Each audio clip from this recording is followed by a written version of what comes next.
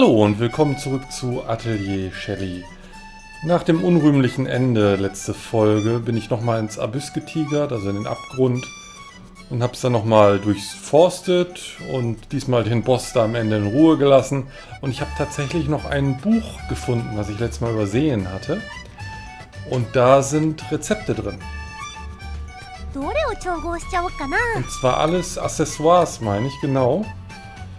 Und das einfachste Accessoire beginnt bei Level 70 und die nächsten gehen hier bis Level 90 hoch. Da muss ich also nochmal ein bisschen äh, aufleveln, um die überhaupt basteln zu können. Und ich denke, dass wir diese Accessoires auch brauchen, um den dicken Boss mit seinen 150.000 Hitpoints da am Ende überhaupt besiegen zu können oder ja, damit wir überhaupt eine kleine Chance haben. Das machen wir diese Folge aber nicht. Dann bin ich los, äh, oder erstmal, was machen wir diese Folge denn stattdessen? Stattdessen wollen wir uns mal angucken, wie wir diesen Drachen ähm, besiegen. Der gefährliche Drache. Und da dachte ich ja erst, das wäre vielleicht dieser Silberdrache. War er aber gar nicht. Denn ich bin nochmal zu dem Silberdrachen hingegangen und habe den ähm, ja, besiegt, weil er sich diesmal nicht in diesen riesen Monsterdrachen verwandelt hat. Habe ich wohl ein bisschen Glück gehabt. Das war auch eine Nebenaufgabe, war erledigt und jetzt geht es halt daran, diesen Drachen äh, zu finden. Und ich habe auch schon vorweg gesucht und ähm, deshalb können wir direkt losgehen. Ich muss jetzt keine lange Suchaktion machen.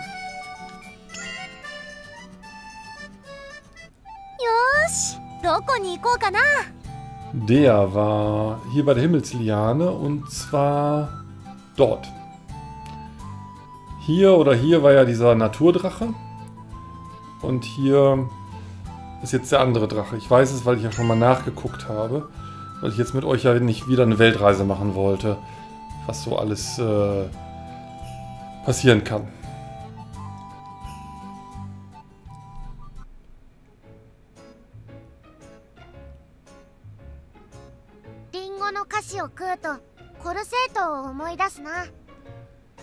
Wenn ich süße Äpfel esse, Erinnerungen an Kolseit. 私はソウルを見ると思い出すわねまさかここでも会うとは思ってなかったし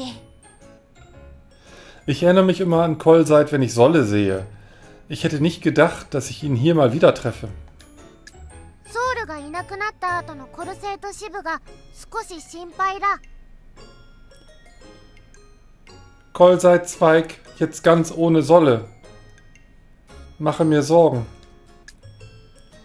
ソウルさんコルセートでもあんな感じだったんですか Sag mal, war Solle in Kolseit genauso wie jetzt? あんな感じって Was meinst du denn mit genauso? えっと几帳面でお菓子好きで Naja, weißt du, so Stock im Hintern und mag Süßigkeiten. 今の方がレパートリーが広がったな Repertoire. Wissen mehr nun.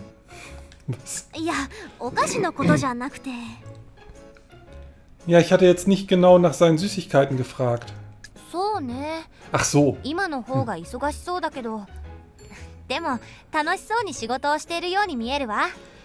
Jetzt verstehe ich das, was Homura uns sagen wollte. Das Solle jetzt nämlich mehr Süßigkeiten herstellen kann. Er hat sein Süßigkeitenrepertoire erweitert. Und Wilbe sagt, ähm, lass mal überlegen, er scheint jetzt geschäftiger zu sein, aber er hat auch viel mehr Spaß an der Arbeit.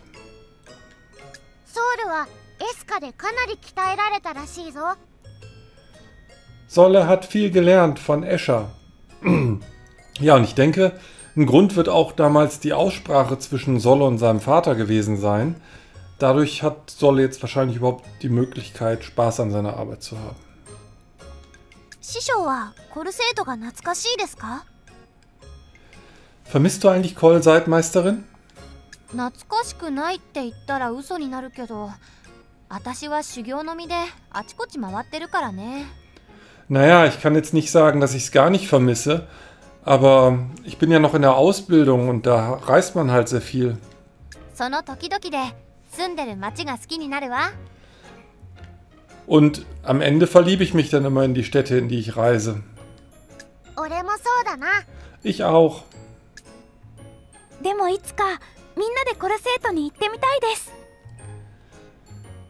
Ich würde gerne einmal mit euch allen nach Kolseit reisen.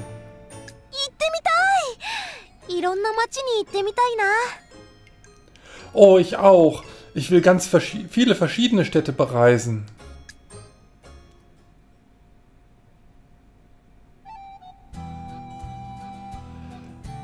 Ja, haben wir mal wieder so eine Zwischensequenz eingeschoben hier. Wo wollen wir denn jetzt hin? Da, nein. Da.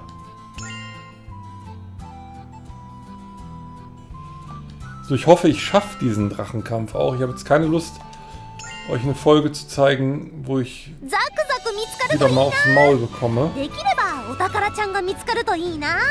Und deshalb habe ich auch schon mal nachgeschaut, ähm, wie viel Hitpoints dieser Drache denn so hat. Und es schien mir machbar zu sein.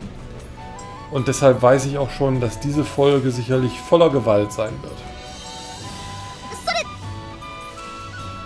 Da ist er.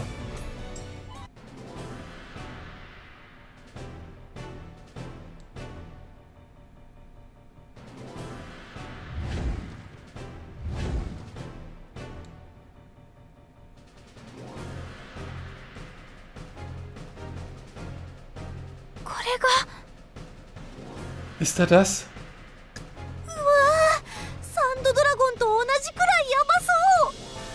Boah, das Teil sieht ja noch gefährlicher aus als der Sanddrache. Menschen. Boah, diese Stimme.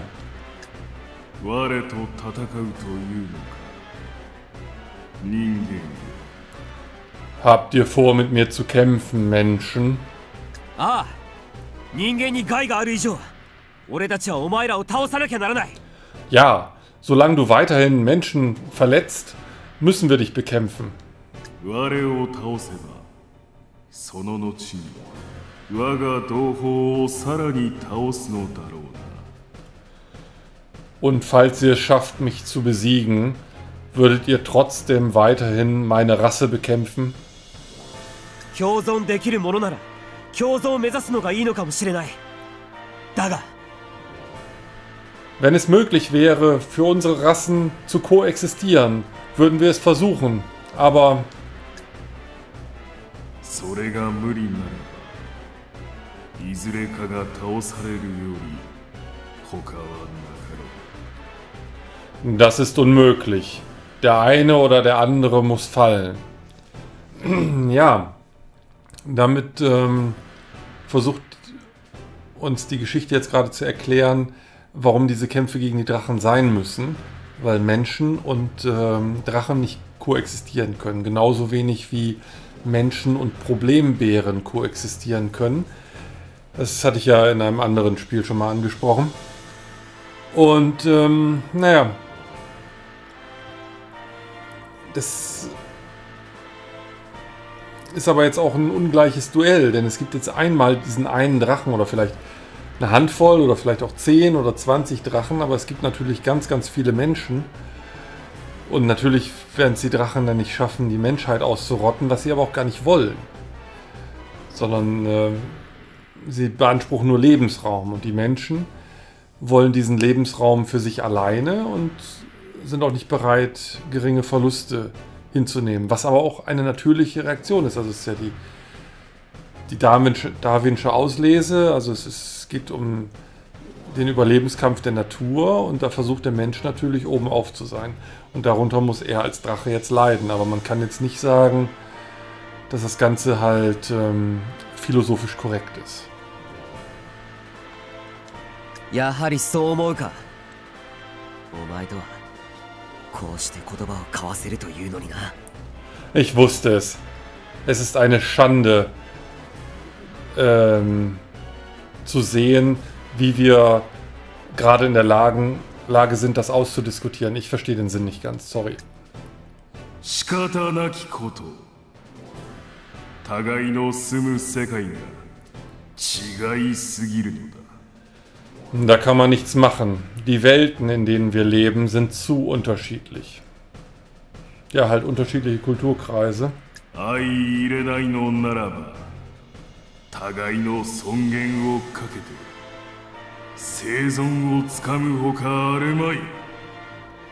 Und da wir nicht koexistieren können, ist unsere einzige Möglichkeit, einen Konflikt des Stolzes auszutragen.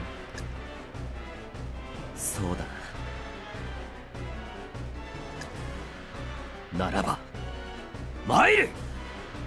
Alles klar, auf geht's.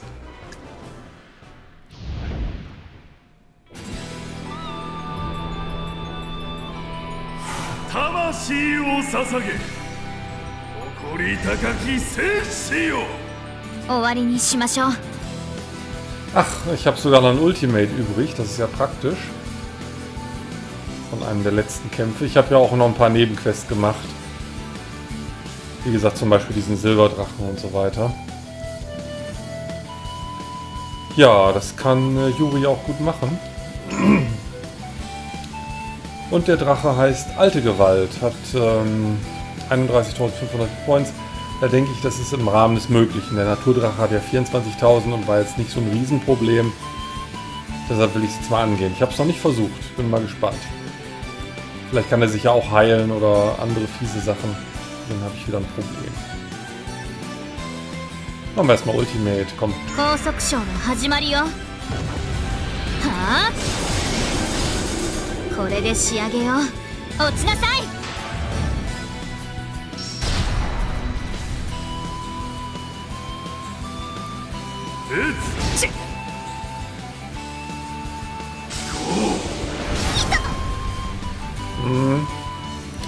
Schaden geht noch so gerade. Müssen wir noch ein bisschen Bürst aufbauen. Und vor allen Dingen muss ähm, Estera nach vorne.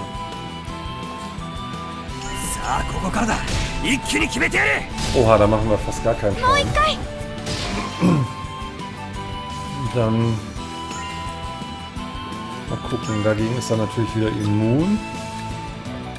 Das war diese Müll er noch Level 69, muss also nicht schlecht sein. Können wir schon mal seine Angriffskraft reduzieren. Bringt 20% Burst, das machen wir mal.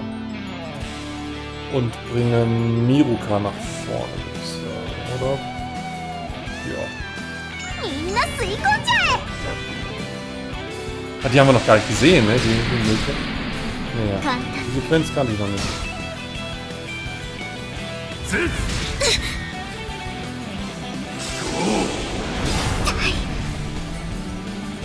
So, jetzt müssen wir mal gucken. Den Burst muss ich auf mindestens 120 bringen. Mit der Unterstützung von Keys gleich mal eben gucken, ob das hier... Das würde 27 bringen, das ist nicht schlecht. Sind alle 27, oder?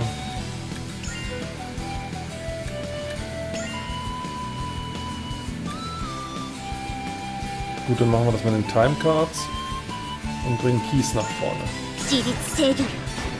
So, ich muss den halt möglichst hochbringen, den Burst, damit wir jetzt... Ah, sogar über 130, das ist sehr gut. Dann können wir nämlich alle drei Effekte hier einsetzen.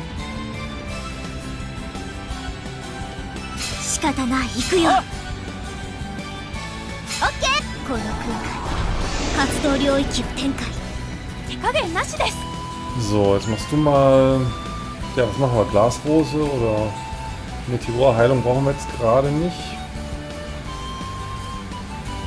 Dann machen wir erstmal den Meteor, weil der Burst gerade an ist. Der Meteor zweimal wirkt. Schaden ist ganz okay. Dann ähm, klauen wir gerade mal was. Dann ist der Drache auch schon wieder dran.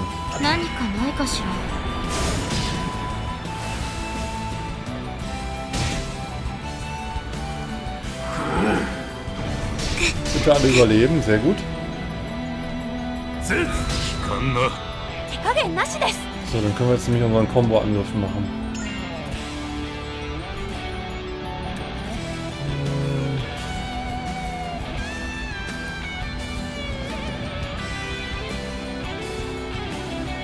Ja, Wasserschaden, Speed runter, klingt alles gut. Resist, das klingt nicht so gut. Das klingt auch nicht so gut. Was haben wir denn hier? Wind? Schwach gegen Wind, super. Das machen wir. Und der kriegt den finalen Schlag gleich Cortis, würde ich sagen.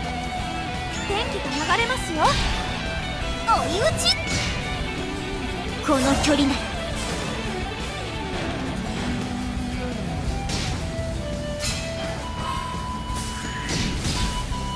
からでも崩してやる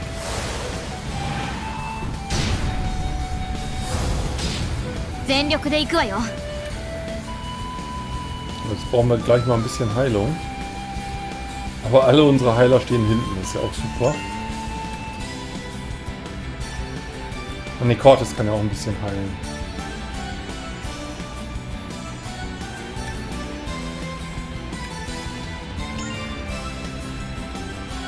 10.000 haben wir hinten abgenommen. 結構効くわよ一気に攻めるぞ Hm, aber Cortis macht nochmal einen Angriff, weil wir haben wieder einen Combo-Angriff, das ist super. Und dann müsste den finalen Schlag, ja muss Miruka eigentlich machen. まだ終わりじゃない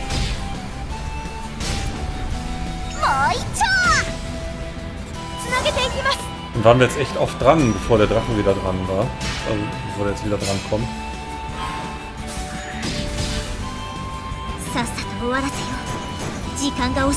Den Burst echt gut ausgenutzt. Nochmal dran, Wahnsinn.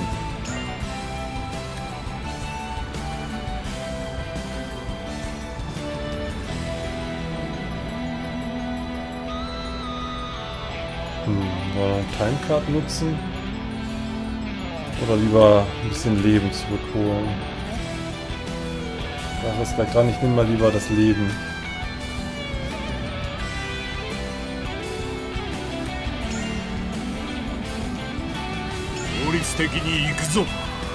Wow, voll geil.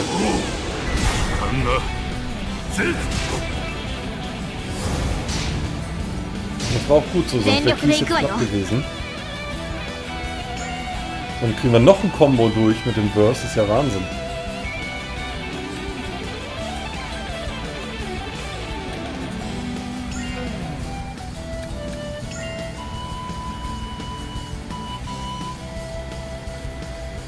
急がせてもらうわ」追い打ち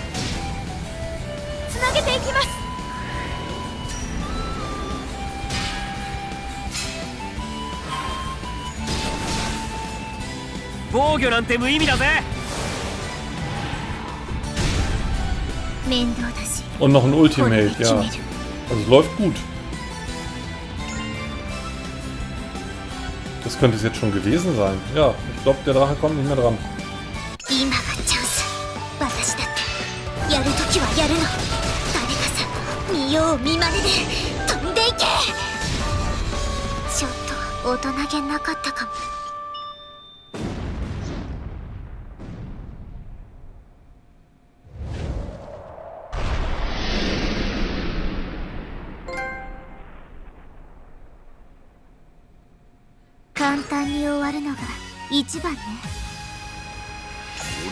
俺の探求に終わりはない So, was haben wir denn hier bekommen? Das ist Schrott. Also bis auf die Properties eventuell. Ja, die sind okay. Dragon Core nehme ich immer gerne mit. Dragonbone ist... Ich will nicht sagen Schrott, aber ich habe noch ein paar davon.「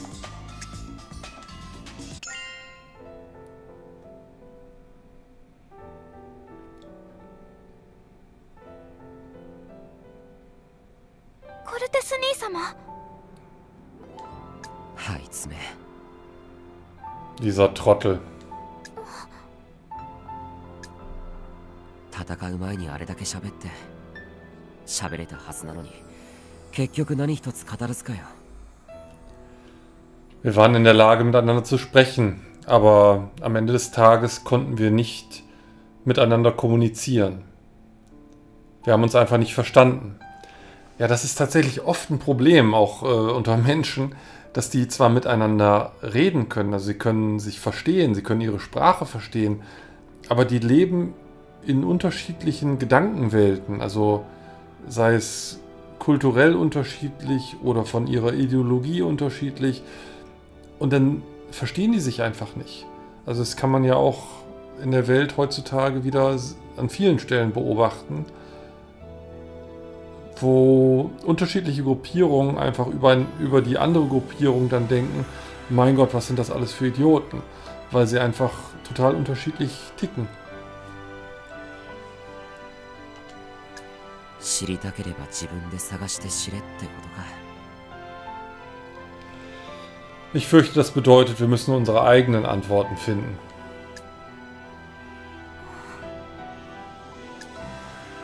なあシャリ 俺は今まで村の連中よりよほど広く世界を見てきたと思ってたんだが Hey Shelly, ich dachte, ich hätte mehr gesehen und wüsste auch mehr von dieser Welt als irgendjemand sonst in dem Dorf, aber 俺の見ているものはまだまだ世界のほんの一部なんだな in Wahrheit habe ich gar nichts gewusst.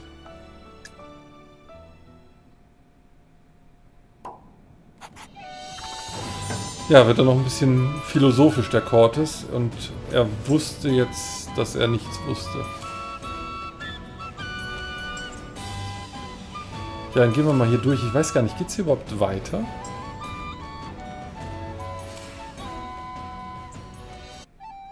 Ne, gibt also keinen neuen Ausgang. Okay. Ähm, dann würde ich sagen, muss ich die Folge auch schon beenden. Sie ist jetzt auch nicht allzu kurz gewesen. Aber, denn wir haben jetzt gerade Mittwochabend, schon nach 10. Und da will ich die Folge noch eben schnell rendern und dann kann die in Ruhe hochladen. Dann kann ich die vielleicht sogar noch um, na, kurz nach 11, halb 12 online stellen.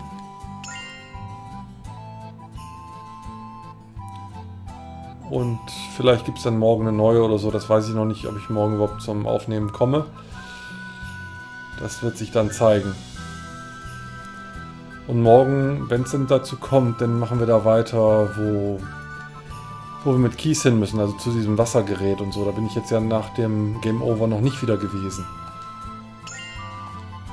Also das Gerät selbst haben, sind wir noch gar nicht gewesen, aber auch den ganzen Bereich habe ich noch nicht wieder betreten. So, gucken wir nochmal eben, ob hier irgendwas Neues ist. Ne, ist nicht.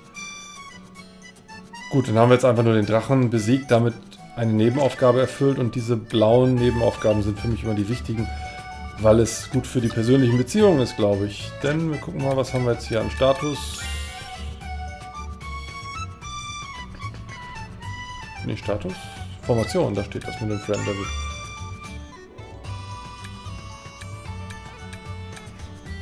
Okay, fehlen doch noch bei zwei Leuten ein bisschen was. Das will ich auf jeden Fall hinkriegen, die auch noch auf 100 zu bringen. Ich weiß nicht wie, aber irgendwie werde ich es schaffen. Gut, und für alle, die jetzt noch so lange dran geblieben sind, noch der Hinweis, ähm, es wurde jetzt tatsächlich bestätigt, so am 22. Ähm, am 22.06. ganz spät abends gab es noch eine Meldung.